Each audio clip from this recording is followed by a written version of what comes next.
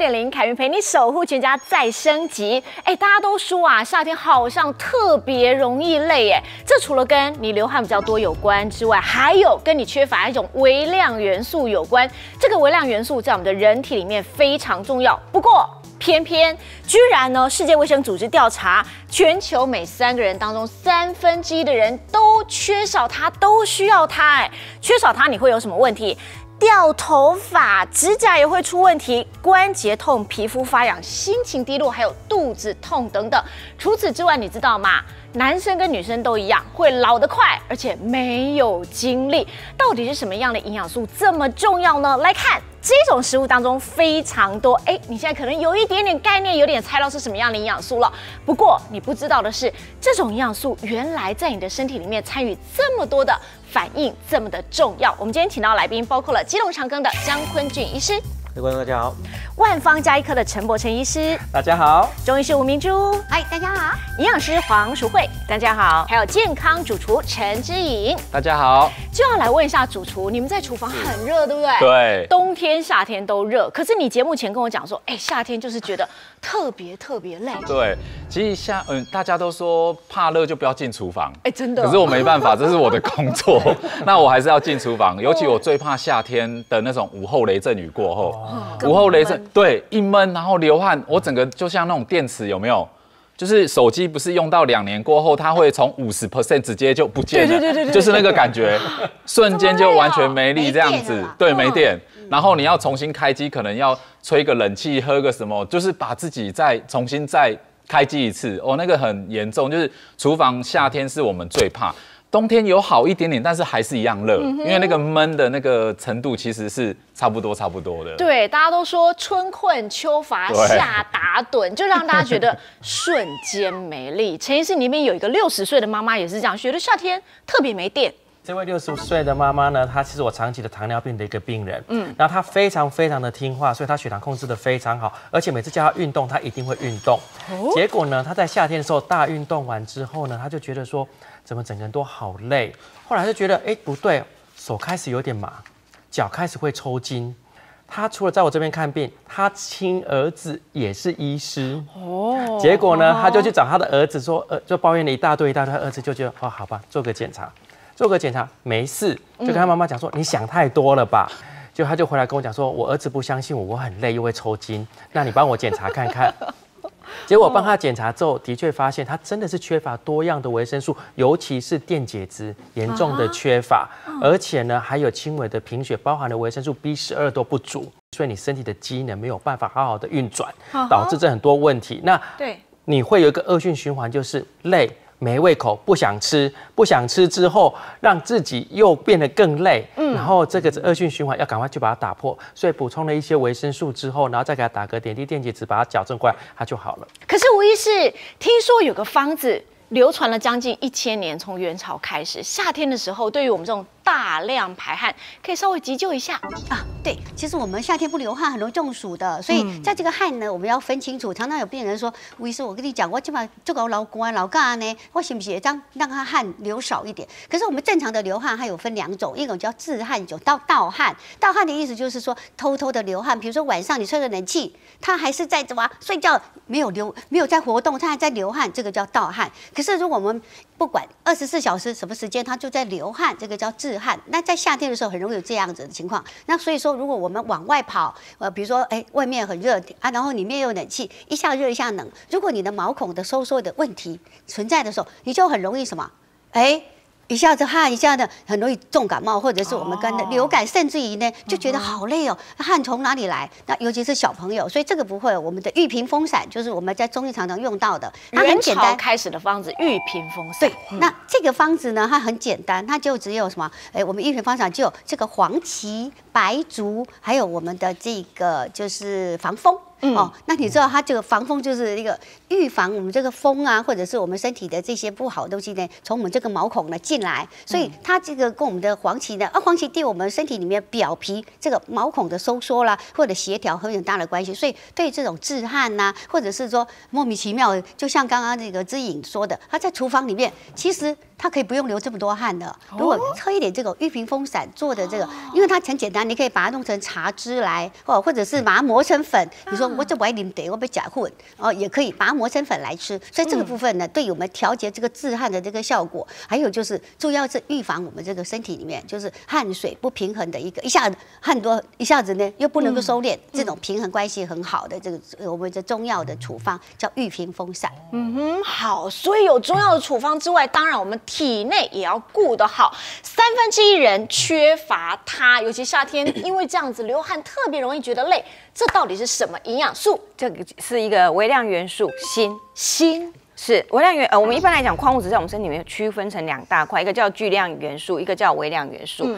通常我们都会只看那个巨量元素那一块。比如说我们运动会流汗，我们都会注意钠啦、钾啦，哦，我们会注意哦那个到电解质有没有平衡，我们比较会去忽略掉微量元素这一块。对，那微量元素这一块，事实上，呃，第一大的微量元素是铁，那铁当然我们都知道跟血有关。对，那第二大呢就是锌。那事实上，锌是参与我们身体三百多种的酵素的活性，哇！所以你知道它参与我们身体非常非常多的生理反应。那你只要去疏忽了这个东西，没有补充足够，你就会触发缺乏的现象。然后呢，我们当然不至于说啊，我就是缺乏到我已经出现疾病了，不至于。但是你就是位在那个缺乏边缘，哎呦，我们就称之为隐性饥饿。你就是要饱足又没饱足。你看你，说你真的缺乏到出现疾病又没有，对你就是。徘徘徊在那个边缘，可是长期下来身体就出毛病对，所以你就会发觉你是不舒服的症状，倒不至于说，哎，我真的要进医院，倒不至于。但是很多人就会忽略掉，所以就会像我们刚才前面那个。讲述了那么多个案例，都会感觉好累哦，就是一个好累，精神不好，然后没有食欲。你说有生病吗？还不至于想到会想到生病，可是就是整个人病恹恹对对对，那事实上这个就是属于已经一个营养缺乏，就是营养饥饿的一个现象了。好，那要请江医师来告诉我们哦，如果我们锌缺乏的话，我们身体到底会出哪些状况？因为在我们以前的营养学哈，大家都只重视淀粉、蛋白质啊，哈，还有那些。脂肪啊，然后我们会讲维生素，现在才会讲一些所谓的微量元素。对啊，刚才那个营养师有讲嘛，哈，有分两种，一种比较多的，一种比较少的。其实我们以前根本就不重视这个东西，不但是一般的民众，连我们医生都不重视。我们以前，我我十几年前当医，刚开始当医生的时候，根本没有人在测这些东西，所以我们也不晓得东西，这些东西会产生很严重的症状。当营养师有讲了哈，如果你在缺乏边缘，你大部分不会有很严重的症状。可如果当你极度缺乏的时候，就常常会出现症状。可是症状常常你来找我们医生了，我们常会检查了半天，都跟你说你没病，抓不，因为我们也想不到，因为我们也。不会想到这件事情哦，因为其实我们，所以这是随着医学的进步，对，现在才知道说哇，这很重要。对，因为我们把其他病都找完之后，最后才找到这个毛病，所以通常最后一个看你的医生，你都会觉得他是神医了。其实是因为前面都已经找完了。因为其实我这有个案例，他就其实就还蛮蛮奇怪的了哈。他四十几岁，他是我的老病人哈。嗯。他其实长期他就东西就吃的很清淡，可他最近不知道为什么肠胃功能不好，就天天在拉肚子。对。他刚好又夏天又吃不太下，所以他就精神不大好。他太太那时候看他精神不太好，他觉得没有什么问题，因为想说夏天你本来。就吃不多，本来就精神不好，可是莫名其妙这一两个月开始会掉头发。哦，你看，他开开始掉头发，可是他更离谱的是哦，他就是嘴巴还会常常一直破，还有更惨的是哦，他嘴巴这边长了一圈红红的，屁股肛门的地方也长了一圈红红的，就跟就跟那个猴子有点像。所以他太太那时候觉得很奇怪，想说这是什么怪病哦，就把他带到我门诊。那时候我看，我想说这是什么怪病，怎么不去找其他医生，怎么不去找下一个？对啊，我想说奇怪，这到底什么东西？怎么会有人这样子？因为我那时候也没有把他什么嘴巴破啊、掉头发跟他那个连接在一起，这边这边嘴巴一圈红红的，跟屁股一圈红连在一起，我都没有。我当时想说，哦，你这么累的话，那我干脆帮你验一下那个肝功能啊、肾功能啊、甲状腺啊、什么类固醇，通通都验了，全部都正常。对，他全部都正常的时候，他隔两个礼拜又回我门诊的时候，我再想不出来什么老毛病，因为他到我已经看很久了嘛，我就毛起来帮他把血全部都抽一遍，除了他讲的电解质之外、钠钾之外，我就把什么维他命 B 群啊、D 群啊、E 啊全部都抽一遍，也都正常。后来就是把所有的什么锌、锰、铜啊，全部都抽一遍，对，就发现全部都正常，只有锌缺的非常多。只有缺锌缺的非常多。可是我那时候也不敢讲说他一定就是缺锌造成的，但是我就开了一些那个新的那个浓缩锭给他，对，而且我叫他回去多吃一点海鲜，嗯，四个礼拜这些症状全部都消了，头发还通通都长出来了。所以我跟他想说。对，其实我们现代人的营养缺乏，对我们很我们我们很多时候在在家里面哦，你有时候莫名其妙，你觉得自己身体东不舒服西不舒服，可是你又没什么大病的时候，你就要想想看，你是不是缺乏一些很奇怪的东西？比如说以心而言的话，你可能会掉把秃头，嗯哼，对，而且呢莫名其妙的关节痛也是哦，很多人都这样子嘛，你都觉得你好像你去照 X 光，他也没有觉得你关节怎么样，可是对就会三不五时的痛。我们也有过那皮肤发痒，像我们讲皮肤发痒，除了脚会之外，就像我刚才讲的，很多人会在这个嘴巴旁边，心有个特别的哦，特别容易在嘴巴旁边，嘴还有在肛门旁边。另外还有一个肚子痛，这个非常严重哦。大家一定以为你肚子痛，你第一个想到是什么？吃坏肠肚子啊还有肠道症对，因为我们这有个案例哦，他肚子痛已经两年了。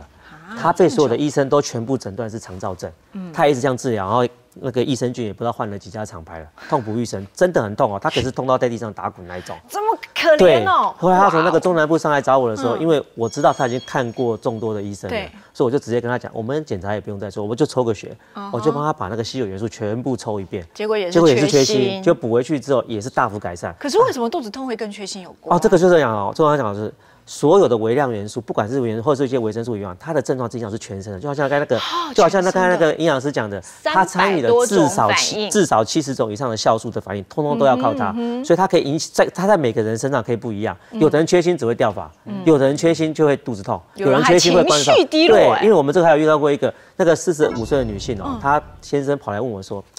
他太太就是最近心情都很不好，然后看人都很冷漠，特别是看他，看别人还好，看他特别冷漠，都不大理他。他就问我说：“这是更年期？”家庭快要出问题。对对，他就问我说：“这是更年期？”他偷偷来问我，我就说：“啊，不然你你太太本来就是来检查，我偷偷帮你验一下她的那个女性荷尔蒙浓度，就抽出来正常。”就他他隔了一两个月之后，他现在还是跟我讲说越来越差，他到底要带去看妇产科？我说：“可是你女性荷尔蒙抽起来都正常呢都正常。”对啊，我说：“不然我再抽抽看。”我就就又又把那个整套血再抽一遍，对，也是缺锌。缺锌。对，缺锌也会心情低落。他补回去之后，真的他也觉得他太太变得比较笑脸常开，至少对他比较和气一点。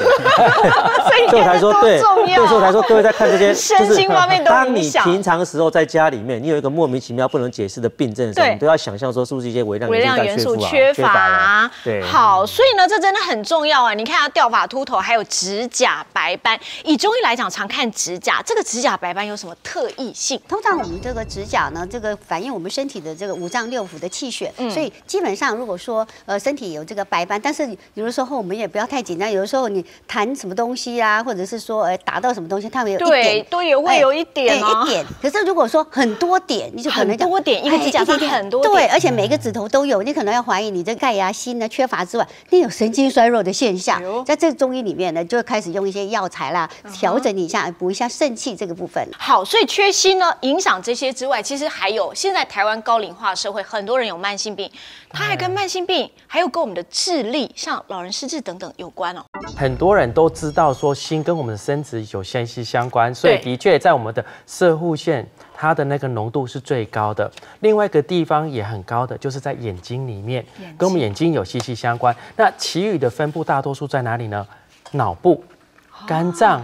肾脏这些内脏的器官其实分布还蛮多，为什么呢？因为刚才讲了很多的酵素，它的这一部分的一个反应都需要它。其中一个反应我们特别要注意的就是碳水化合物的代谢要正常，一定要有锌。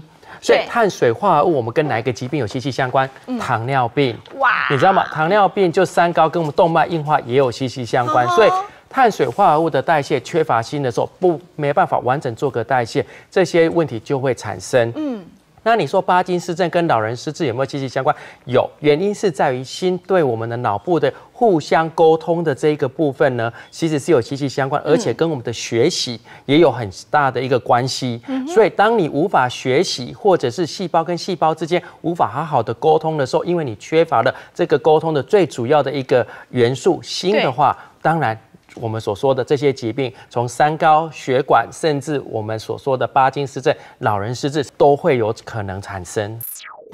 有一点点那个水梨的那个果香味。果香味真的很好喝哎，我还蛮喜欢这个清爽的味道。我第一次喝到吴医师调的最好，我喝到最好喝的。你好快啊！这个可以太多地方都会排掉了啦，啊，你没有没有记得去把它补回去的话，那个长期下来你就是慢性的缺乏性的。对，有时候就会觉得，嗯，这个枕就边人越看越讨厌，对 或者累累的。这个原因可能不是心而已。